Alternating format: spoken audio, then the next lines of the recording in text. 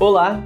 Os Objetivos de Desenvolvimento Sustentável, os ODS, foram aprovados na ONU em 2015 como parte da Agenda de Desenvolvimento para 2030.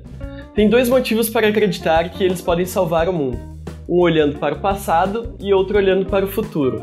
Olhando para o passado, temos a experiência dos Objetivos de Desenvolvimento do Milênio, os ODM, em vigor entre 2000 e 2015. Eram oito objetivos em diversas áreas. Eles deram muito certo. Basta ver os números relativos à extrema pobreza. De 1990 até 1999, portanto antes dos objetivos do milênio, a extrema pobreza caiu muito pouco.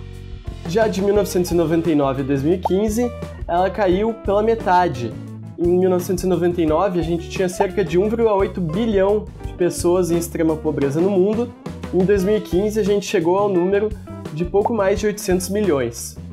Como os ODS foram baseados nos ODM, a gente tem motivos para crer que também vão ter êxito. Olhando para o futuro, em relação aos objetivos antigos, os novos são mais audaciosos.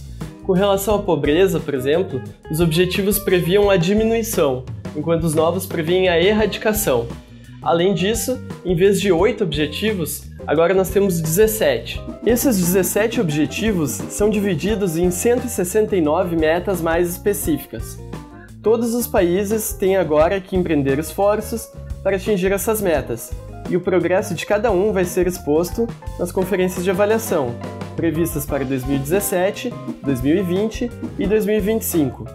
Não há sanção para quem não cumprir a meta, mas há uma grande pressão, já que os países vão ser comparados e expostos nessas conferências. O segredo dos ODS é contemplar os três elementos do desenvolvimento sustentável: o crescimento econômico, a inclusão social e a proteção do meio ambiente. Com a união desses três elementos, a gente pode ter um mundo mais rico, mais limpo e com boas condições de vida para todos. Claro, agora que isso foi decidido, precisamos também ter a mobilização de toda a comunidade internacional, da sociedade civil e também a gente precisa da vontade política para que esses objetivos sejam colocados em prática. Bom, esse foi o nosso resumo sobre Objetivos do Desenvolvimento Sustentável.